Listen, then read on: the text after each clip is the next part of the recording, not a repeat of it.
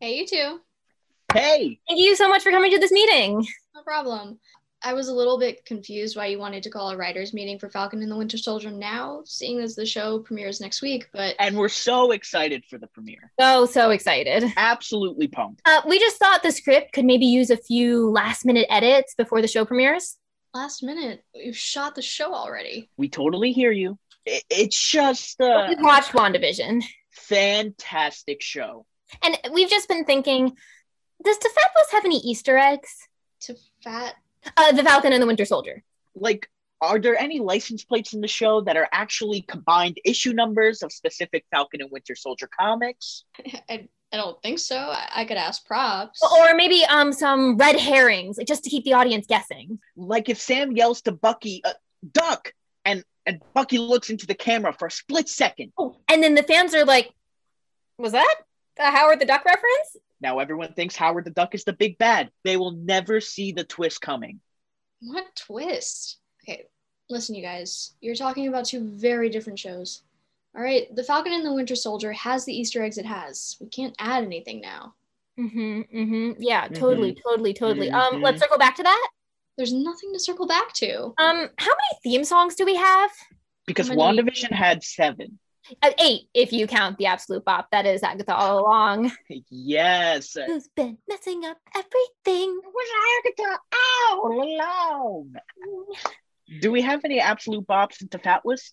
I, I don't know what that means.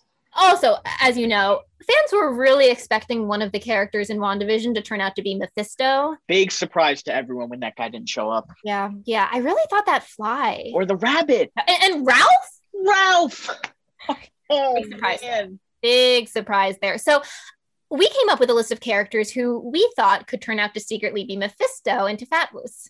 I'm afraid to ask. Number one, Bucky Barnes, Oh boy. Number two, Johnny Storm from the Fantastic Four. but played by Mr. Chris Evans. Multiverse, baby! Okay, I have another meeting to get to, so if we could just wrap this up. Yeah, sure. Um, we just have a, a couple more things. Just, just, just small, small changes. Small, tiny changes. If it's something we can do in post, maybe. What is it? Same exact show, nothing changes, but it's a 1950s sitcom. That's just episode one of WandaVision. Okay, she didn't like that. Okay, that that's, that's fine. okay. That's fine. We've got more. We've got more. Idea number two. It's the same show, Hmm? but it's a 1960s sitcom. Okay. Uh, uh, uh, idea number three. In the same show, but as a 1970s sitcom. no. That just be ripping off WandaVision. What? Woo! no, we're just thinking we should drop the and. The and. In the title. Just the Falcon, the Winter Soldier. Or, or if you don't like that, I don't.